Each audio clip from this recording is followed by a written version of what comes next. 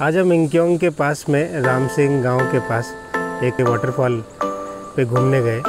Purpose ये था कि हम टूरिज़्म रिलेटेड जो भी यहाँ पर प्लेसेस हैं, उनको एक्सप्लोर करना चाहते थे और वो बहुत सुंदर वाटरफॉल हमने देखा और एक नहीं, वहाँ पर दो वाटरफॉल्स हमने देखे।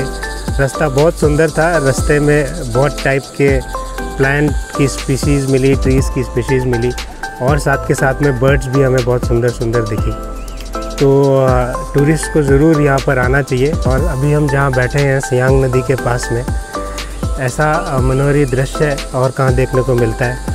तो मैं सभी से कहना चाहूँगा कि यहाँ अपर सियांग की सुंदरता को निहारने के लिए टूरिस्ट को ज़रूर आना चाहिए।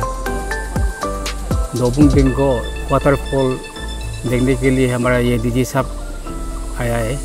हम ये बस्ती का से बिलोंग करता हूँ। और ये दोबुंग डिंगो जाने के लिए हमारा एक एमआईसी है।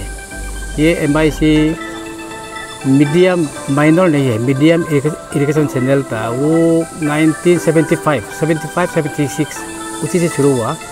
उसका बाद अभी सर ने ये टूरिज़्म पोटेंशियल के लिए अभी दोबुंग डिंग देखने के लिए आया। मेरा नाम अतर मुझे मैं अपर सियांग डिस्ट्रिक्ट का डिस्ट्रिक्ट टूरिज़्म ऑफिसर हूँ और, जो मेरे पीछे आप जो झरना देख रहे हैं, ये डोबुंग वाटरफॉल है, जो कि हमारा अपर सियांग में है।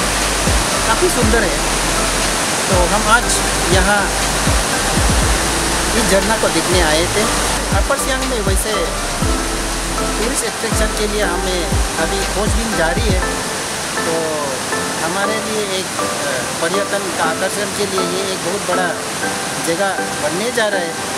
और उम्मीद करता हूँ यहाँ का लोकल लोग भी इसे डेवलप करने में काफ़ी योगदान देगा, इसे मेरा पूरा विश्वास है। इस जगह को हम डेवलप कर जाता है तो अपर सियांग डिस्ट्रिक्ट भी एक बहुत ही बड़ा माच सौ टूरिस्ट डेस्टिनेशन बनेगा। डोबुंग वाटरफॉल जैसे हमारा यहाँ काफ़ी तादाद में हिडन पैराडाइज है, जो हम अभी तक दुनिया को दिखा नहीं पा रहे हैं। इसी यहीं से हम मार्केटिंग कर नहीं पा रहे हैं। तो बहुत ही सुंदर जगह है और हम लोग इसी तरह बाकी जगहों में भी जाते रहेगा और टूरिस्ट प्लेस घूमते रहेगा।